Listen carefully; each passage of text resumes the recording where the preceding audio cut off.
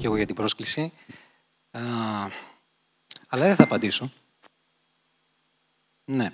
Θα έλεγα ότι μάλλον θα πρέπει να προβληματιστούμε, γιατί είμαι αρκετά προβληματισμένος για αυτό το οποίο είδαμε προηγουμένως. Είχαμε τους πολιτικούς οι οποίοι τελικά δεν απαντήσανε.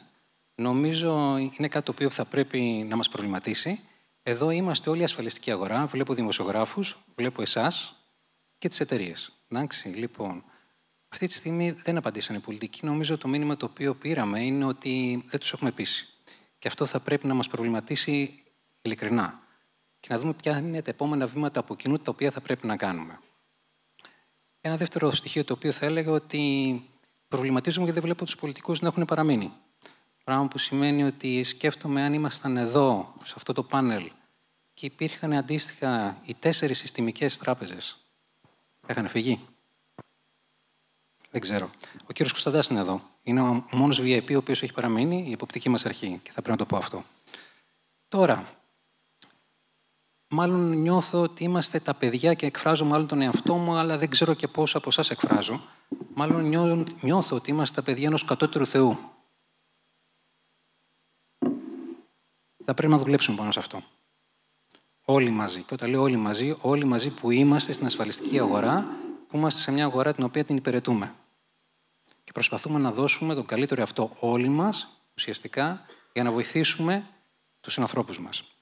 Θα απαντήσω τώρα στο ερώτημα έτσι κι αλλιώς σε αυτό το οποίο είπατε, σε αυτό το οποίο με ρωτήσατε.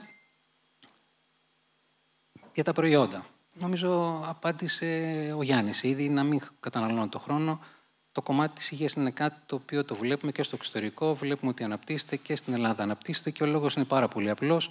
Πρώτον είναι ένα, θα έλεγα, πρόγραμμα το οποίο ουσιαστικά βλέπει ο ίδιος ο πελάτης ότι πολύ άμεσα παίρνει κάτι πίσω από την ασφαλιστική εταιρεία. Και πολλά από τα προγράμματα που υπάρχουν σήμερα είναι διαφορετικά με αυτά που είχαν στο παρελθόν. Δηλαδή, υπάρχουν, αν θέλετε, η πρόληψη, υπάρχουν κάποια σημεία μέσα στα προγράμματα αυτά τα οποία μπορεί να τα χρησιμοποιήσει ο πελάτης, άρα να πάρει πολύ άμεσα, γρήγορα κάτι πίσω για αυτόν. Άρα λοιπόν δεν είναι να πάει κάποιος στο νοσοκομείο και να αποζημιωθεί, αλλά παίρνει νωρίτερα κάτι στο, σε αυτό το οποίο ήδη έχει πληρώσει.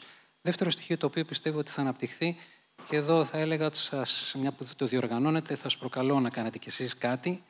Α, νομίζω απαντήσανε προηγουμένως οι πολιτικοί μας και φυσικά δεν το θέτουν στο θέμα ότι δεν έχουμε κανένα πρόβλημα με το συνταξιοδοτικό και όλα καλά.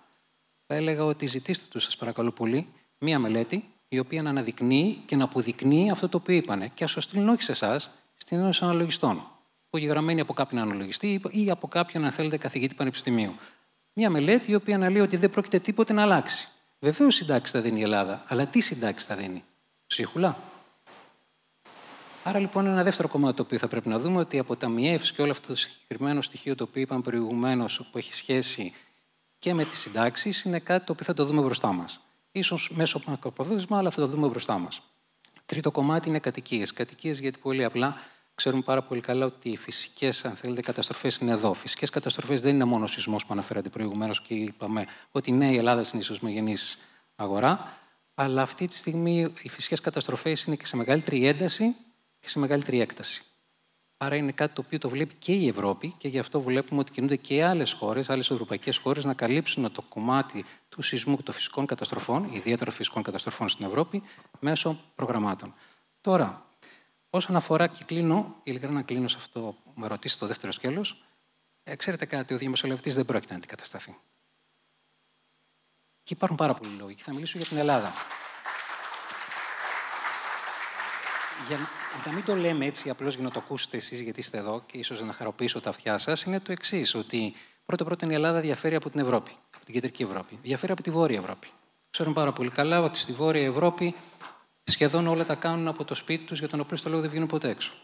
Εδώ υπάρχει μια σχέση η οποία έρχεται και λέμε ότι είναι μια σχέση που αναλαμβάνει και αν θέλετε αυτή τη στιγμή κάνει ο διαμεσολαβητής με τον πελάτη. Αυτό δεν πρόκειται να αντικατασταθεί τόσο εύκολα. Είναι πιο ανοιχτός ο Έλληνας σε σχέση με τους Ευρωπαίους. Ένα δεύτερο στοιχείο το οποίο θα πρέπει να βάλουμε στο τραπέζι και είναι πάρα πολύ σημαντικό είναι ότι ξέρετε αυτές οι αγορές είναι ήδη αναπτυγμένες. Εδώ δεν έχουν αναπτυχθεί. Αν περιμένουμε λοιπόν να αναπτυχθούν οι αγορές μέσω ε, του ίντερνετ ή μέσω κάποιων direct καναλιών, δεν πρόκειται να γίνει αυτό. Εσείς αυτή τη στιγμή είστε 12.000, το είπατε προηγουμένως, είστε 12.000 που αν ο καθένας από εσάς μιλάει για τις ασφάλειες πολύ πιο συχνά, αυτό που λέει ο κ. Γερακόπουλος, ουσιαστικά θα δώσουμε μια διαφορετική τάση στην αγορά. Άρα λοιπόν ο διαμεσολαβητή έχω την αίσθηση και το πιστεύω ακράγαντα ότι έχει μέλλον και έχει μακρύ μέλλον αυτή τη στιγμή. Έχει βεβαίως και παρόν, αλλά έχει και μέλλον. Φυσικά όμως και ο ίδιος πρέπει να καταλάβει ότι θα πρέπει κάτι να αλλάξει. Τι θα πρέπει να αλλάξει, να είναι πολύ πιο κοντά στα digital εργαλεία. Digital εργαλεία με ποια λογική, δύο λογικές. Πρώτη λογική είναι η εξυπηρέτηση, η εξυπηρέτηση του πελάτη. Τελειώνω. 30 ε, δευτερόλεπτα. Είναι η εξυπηρέτηση του πελάτη, η εξυπηρέτηση του πελάτη με digital εργαλεία, που θα μπορέσει να γίνει αυτό το κομμάτι. Και ένα δεύτερο, εργαλεία αυτά τα οποία θα το βοηθήσουν να μπορεί να αναλύει ακόμα καλύτερα τις ανάγκες των πελατών. Αυτά τα δύο, αν μπορέσει να αναπτύξει ο διαμεσολαβητής, δεν έχει κανένα πρόβλημα για το μέλλον. σα ίσα θα πρωταγωνιστήσει. Νομίζω πολύ επικύρη ερώτηση. Ε, ναι, είναι κάπως όπως τα λέτε μάλλον. Θα έλεγα το εξής, ότι έχουν γίνει πάρα πολλές προσπάθειες τόσο από την Ένωση Ασφαλιστικών Εταιριών, έτσι ώστε να μην προχωρήσει αυτό. Έχουν γίνει αρκετά διαβήματα, για να μην πω πολλά διαβήματα, γιατί αυτά ήταν η σωστή έκφραση. Ε, η ίδια η Γενική Διευθύντρια, η Ελίνα, έχει πάει στις Βρυξέλλες, έχει μιλήσει με τον Επίτροπο, τον κύριο Σκηνά, έτσι ώστε να προσπαθήσει να περάσει τις σκέψεις, τις ιδέες, τις οποίες είχαμε και γιατί δεν θα πρέπει να προχωρήσει. Νομίζω κατορθώσαμε κάτι, αλλά θα έλεγα ότι θα πρέπει να κρατάμε μικρό καλάθι. Έχει μπροστά πάρα πολύ δρόμος, ο οποίος θα πρέπει να γίνει, έτσι ώστε να μπορέσουμε να διασφαλίσουμε ότι αυτό δεν θα προχωρήσει. Καταλαβαίνετε ότι δεν μπορούμε να το υποσχεθούμε, δεν μπορούμε να πούμε κάτι το οποίο, ξέρετε, είναι σε μια λογική διαβούλευσης. Δεν βοηθάει την αγορά. Θέλω να τοποθετηθώ σε αυτό. Δεν βοηθάει την αγορά και νομίζω το καταλαβαίνουμε όλοι μας. Κανένας δεν ξυπνάει το πρωί, ενώ κάποιος Έλληνας πολίτης και να λέει για την Ελλάδα μιλάω, και να λέει ξαφνικά ότι θέλω να αγοράσω ένα unit link πρόγραμμα. Δεν νομίζω να το κάνει αυτό. Άρα λοιπόν ο διαμεσολαβητής είναι αυτός ο οποίος τον ενημερώνει για τις εξελίξεις οι οποίες υπάρχουν.